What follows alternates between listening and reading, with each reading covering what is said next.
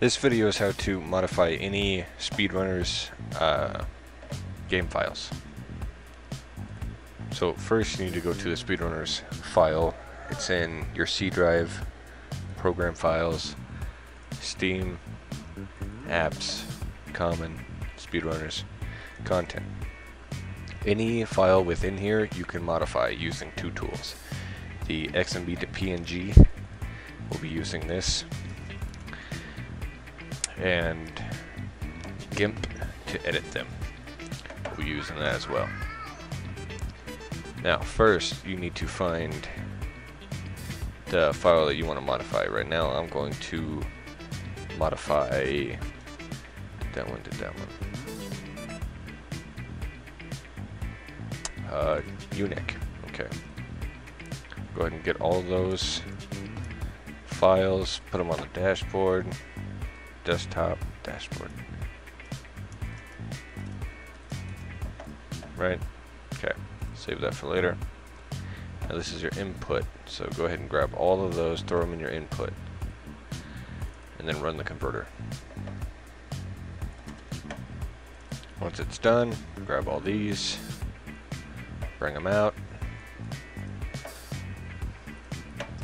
and open up GIMP. Now open all of these files.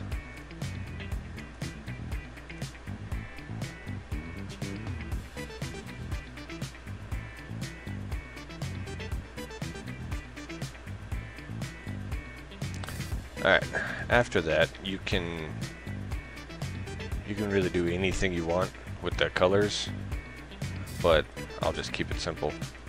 Bring the hue over on one, do the same thing with the other one, same direction.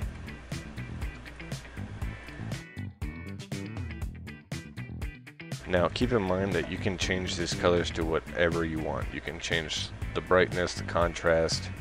I mean, you can make it do whatever you want. You can go in here, you can even invert the colors, which makes it cool. You can do whatever you want. But after you are done, you export them. Control E. And yes, replace the file that is on the desktop.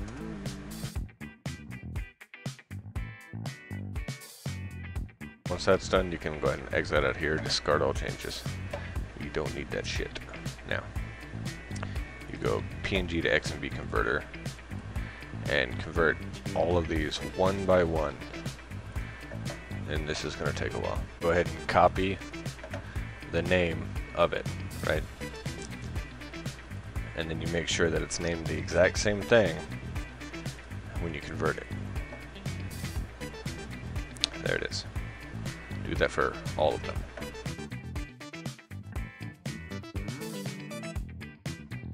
Alright, now that all that's done, you can go ahead and get rid of those. Open back up your folder that you copied everything out of. You put all those back in. Replace.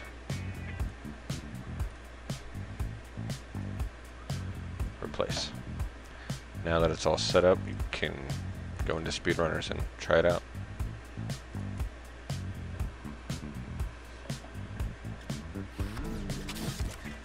Proof that it works. If you want to change these, I can show you that too in another video. Just let me know.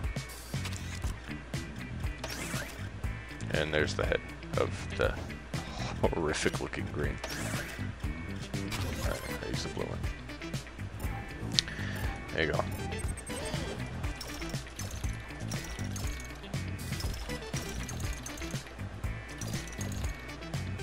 So any any of those XNB files you can change.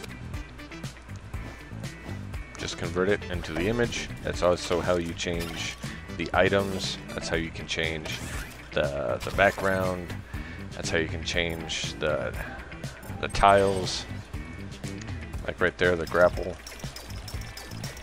All of that. You can change every aspect of the game with what I just showed you. Have fun modding.